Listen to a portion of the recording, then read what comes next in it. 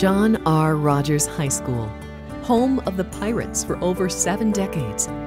A rich history of academic excellence, outstanding athletic achievement, accomplishment in drama, music, debate. Hard-working students who have become exceptional adults. And outstanding support by an entire community that calls Rogers its heartbeat. This is the legacy of John R. Rogers High School. As the new millennium began, after years of growth and wear and tear, the Rogers building needed a complete overhaul. Students needed a learning environment that would carry them into the future. At the same time, the rich legacy of Rogers demanded that its treasured Art Deco building be preserved. This was the challenge of the Rogers renovation. The Spokane community has a long history of supporting Spokane Public Schools and ensuring its children have safe, secure, and well maintained schools in which to learn and grow. In March of 2003, the citizens of Spokane once again stepped up to the plate and voted for a $168 million district wide improvement bond. This bond investment provided for the renovation of three elementary schools and modernization of two high schools, including the historic John R. Rogers High School in Northeast Spokane. The Board of Directors of Spokane Public Schools adopted a 25 year plan for bond proposals in, in, construction of our schools in 2002. And so, this dedication here at Rogers now is a culmination of the first six years of that 25 year plan and it's an opportunity to celebrate the work that's gone on in the development of this beautiful learning space and to thank our voters for their commitment to Spokane Public Schools and to this Rogers community. The school is named for the popular third governor of Washington state, who promoted stronger support for public schools and free textbooks for all children. Rogers has deep roots in the Hillyard community, dating back to 1930 the beginning of the Great Depression, when Spokane citizens saw the need to replace the old Hillyard High School. Until September of 1924, Hillyard, a booming community of 4,000 in northeast Spokane, had been a separate city. It is named after Jim Hill, the founder of the Great Northern Railroad. On September 24, 1924, the cities of Spokane and Hillyard became one giving citizens of both communities reasons to celebrate. Now they would receive additional business and property tax revenues, access to railroad commerce, as well as enhanced services. Almost immediately, the Spokane School Board saw a need for a new high school in the area. Hillyard High School, located next to the original Arlington Elementary School on the corner of Everett and Regal Avenue, had had its share of growing pains before becoming part of the Spokane School District. Citizens of Hillyard were asked in 1912 and 1921 for funds to expand Hillyard High to accommodate the growing population of high school students in the community. A series of modifications were made to the site, including adding annexes and portables. A decision was made to place a construction bond before the voters for the building of a new school the stock market had crashed just months earlier. Despite glum economic and labor news, the residents of Spokane passed the $400,000 measure, beginning a tradition of committed support that has continued to this day. With the new funding, the school board awarded the design and planning of the new school to Dow and Wells Architects in 1930. Soon after, parcels and properties along Wellesley and Pittsburgh were purchased by the district. The foresight of the community was fully realized on the afternoon of Saturday, January 31, 1931, when a fire broke out at the aging Hillyard High School. Faulty wiring was eventually blamed for the blaze, which destroyed some nine classrooms. The need for a new high school in northeast Spokane had never been greater. With little fanfare, construction began in the spring of 1931 on what was to be the most modern high school in the area. Innovations included all electric home economics kitchens and a professional stage and auditorium with state of the art light controls. The first principal, J.D. Meyer, had the privilege of using the first building wide public address system in the city of Spokane. Back from a midterm break, more than 1,000 students attended the first day of class in the new school on February 1, 1932.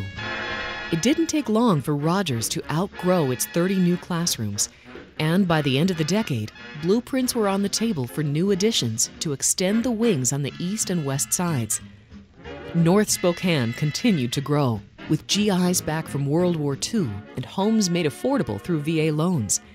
Houses began to spring up on side streets like Heroy, Morton, Hoffman, and Wabash, where empty lots once hosted pickup baseball games. The first decades of any new school set the tone and customs for students, staff, and community to follow through the ages. Rogers soon developed its own rich traditions, a reputation as a sports powerhouse with city championships and records in football, track, and baseball. Excellent drama and music programs, popular with students and the community. And rigorous academic offerings, setting a tradition of high standards that would propel students to their full potential. The teachers were excellent here. I have two graduate degrees, and I'll put these teachers up against any of uh, any institution or teachers that I've been exposed to. To have teachers say, okay, if you want to do that, it's fine, but I expect more of you because you're in my classroom and I know you're capable. That means a lot. I loved all of them. They were just, in fact, that's how I got so involved in Rogers after I got out, was because I wanted to put back what I got out. They were good to me, and I know I wouldn't be here today where I am if it wasn't for Rogers. They never let us believe that we were anything other than a group of very talented individuals coming to be educated. The baby boom generations that made up the pirate classes of the 50s and 60s realized early on that being from John R. meant being part of something big. There were not only teachers, administrators, and coaches who expected more of you, but neighbors and business people were often classmates' family friends or relatives. If you look at the Walk of Fame, look at all of those extremely successful people. They all came out of Rogers. And why? Because they were given the perspective that they could achieve and do anything that they wanted to. I think part of it is because we've had this long, I'll call it rich tradition. It's a case that uh, everybody kind of pulls for each other. As I keep repeating, Rogers just wasn't a structure, an educational structure. It was, it was that shining light on the on the on the hill, uh, and has continued to be. The sense of family that came from the community of Hillyard and Northeast Spokane would create lifelong friendships like no other institution in Spokane. It continues to this day with the region's strongest and most active alumni association. We have an alumni organization that that has about 30,000 people in the database. They came together and really wanted to to erect a monument in honor of alumni of Rogers High School. So, our Wall of Remembrance is a place where folks could purchase a brick with their name and the year they graduated, and there's multiple decades dating all the way back to actually Hillyard High School. And folks purchased bricks, and we had a big unveiling of that last summer. And it was really profound to watch the folks go up to the wall, find their brick, take pictures by their brick, be with their brick. And it's in the Pirates Cove, which is a beautiful new courtyard here at school. By 1950, Rogers' student enrollment had grown from 1,000 in 1932 to almost 1,500 students. The baby boom showed no signs of letting up, and soon both Rogers and North Central were at capacity, with students being housed in temporary or portable classrooms. The first major addition to Rogers was the 1958 expansion that included a new cafeteria, field house, and art and home economics wing. The $600,000 budget allowed the old cafeteria to be remodeled into additional classrooms and a study hall. The new field house gymnasium would host many events over the next 50 years. In 1982, a new Industrial Arts and Social Studies wing was added to the east side of the school along Pittsburgh. Additional work was completed in 1999. Passage of the 2003 School Improvement Bond by Spokane voters provided for the largest, most comprehensive modernization in 50 years. The challenge was daunting to marry the historic 1932 building and its recent additions with a new state of the art structure, all while students attended classes. NAC Architecture and Garco Construction, both of Spokane, were chosen to design and construct the project. Using a relatively new process for school projects in the state, the contractor was chosen early on to assist and advise on systems, materials, and logistics throughout the design process. We definitely had an idea of what it should be going into it because of the historic nature of the 1932 building and the Art Deco style. So, so definitely we had some ideas uh, on what the finished product from the exterior would be and how it should present itself and and what we said to ourselves going into it is what we would call contemporary compatible. In other words, it's a contemporary high school that, that's built for the 21st century, but it needs to be compatible with the 1932 building without, without copying it. NAC's architects and designers began a series of meetings with district and school staff, alumni, and community members to bring form to how a new John R. Rogers would look. We had a committee that included staff, students, alumni, and the committee was about 30 plus people large. And so when we got together to talk about our dream list, our dream building, what would it look like, that whole group had input. I think one of my favorite things about the Rogers project probably was the community involvement and uh, and and uh, not being afraid to propose some some big moves that that would make Rogers stand apart and make it a special place the signature element of that clock tower. That came through the different renditions of the building we saw over and over again. That hit on a on a rendition and we never let it go. So it's really the signature of the whole entire project is that clock tower. And uh, one of the alumni talked about that being a beacon, that Rogers High School, John R. Rogers for him was a beacon of hope. And that once we all saw that clock tower, there was no letting go of that clock tower. And, and we felt passionate about that as a group. On June 13, 2006, then Spokane Schools Superintendent Dr. Brian Benzel and Principal Carol Meyer, along with representatives of the school board, Rogers staff, alumni associations, and students, turned the first shovels of dirt and broke ground in a short ceremony. So began the three year process that would consume the site with equipment and construction. Pack it up and move it scene would be replayed several times over the course of the entire modernization as the project was broken into three major phases First up was the demolition of the old field house, gymnasium, and tennis courts, which would make room for a new main gym, an auxiliary gym, and a portion of the new commons and music classrooms. While displacing gym events, practices, and fitness classes for a year, the arrangement allowed a majority of students to stay on campus and move freely between the labyrinth of portables, annexes, and the original 1932 building. We were actually here on campus the entire construction project, and it went in three phases. And so we stayed just ahead of each construction phase as a staff and um, all of our students during that time. For example, our PE program had to actually be off campus and students bused. We were on a three period day for an entire school year, and our PE teachers took 900 bus rides that year with their students. Arriving for class in September of 2007, students and staff were greeted by a spacious new athletic facility, which would carry on the tradition of providing exciting competition and healthy lifestyle education well into the 21st century. The new main event gym kept the name of legendary Rogers teacher and coach, Carl Tuffy Ellingson.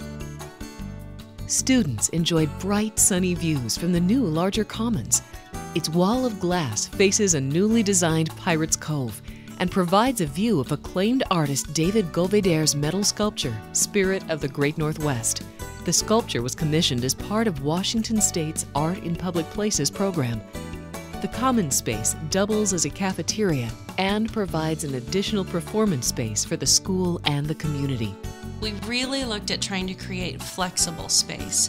So, space that would grow with education changes and also with technology changes. Probably the most impressive part of this latest phase is the new library on the second floor, with incredible panoramas of Beacon Hill and Mount Spokane. The area provides a warm, inviting place for students to study and research.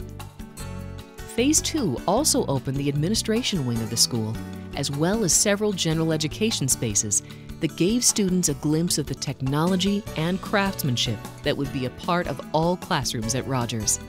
First and foremost, the space is for kids, and the students really need to have a voice in that. And as with our project, we did have student voice in this project, which I'm really proud of. And uh, secondly, I think creating spaces that are flexible, uh, are capable of growing with the changes in education and technology, and uh, spaces that kids and staff will really love to come to every day. The new year also brought the beginning of renovations on the 1932 building. Early in the design process, it became clear that the exterior of this classic building would be restored and preserved. The Art Deco look had made it the signature piece of architecture in Northeast Spokane for over 70 years. This structure was essential to the legacy of Rogers. The existing building, the 1932 building, had a, a historic presence. It was built uh, near the end of the Depression, uh, a very difficult time, an amazing time that uh, uh that the community back in that uh, in that era understood the importance of the education for this area. So it was very important from a design standpoint that we kept that feel. Careful consideration was given to materials and methods used in reconstruction to maintain the historic character and integrity of the building. You really don't realize the complete shift in the building until you get over on the corner of Pittsburgh and Wellesley. And then you see this massive back part of this building that actually blends pretty flawlessly. Officials plan to apply for Rogers to be placed on the National Historic Register after completion of the project. The interior was a different story. Many of the spaces had been remodeled over the years to meet changing program needs, and the majority of any historic features had long since been removed. The exceptions were the classic tile entryway and the theater. Both these spaces held special memories to thousands of Rogers students, and they had already been carefully renovated in 1999. With those two areas protected, crews demolished the interior spaces and started fresh, updating electrical, mechanical, technology, and safety to the standards of a modern high school. The relocation of the public offices to the east side of the new addition allowed the new classrooms on the Wellesley side to be filled with sunlight streaming in through the large, historically recreated windows that are one of the signature pieces of John R. Rogers. This this is a 32 building. I mean, you know, 1932, and the way they enhanced it, it, it sparkles. It's radiant. What I was amazed at is how they've uh, taken the inside and just it just flows. What amazes me is the construction of it. It's almost seamless people that went to school here, they probably can tell where the old school was and where the new school starts. But for the most part, it's seamless and it's wonderful. Most people who walk in feel like they're on a small college campus. And it really has to do with all the technology that we have in our building and all the things that our students have access to now that they didn't in the past. But the idea that they could take something that was old and keep that around just to maintain that history and then build off the back of that and uh, hopefully create some new memories for kids. It's beautiful. It's absolutely beautiful. And I think it's really neat that they've kept the integrity of the school while at the same time improving it so amazingly. It's it's really gorgeous.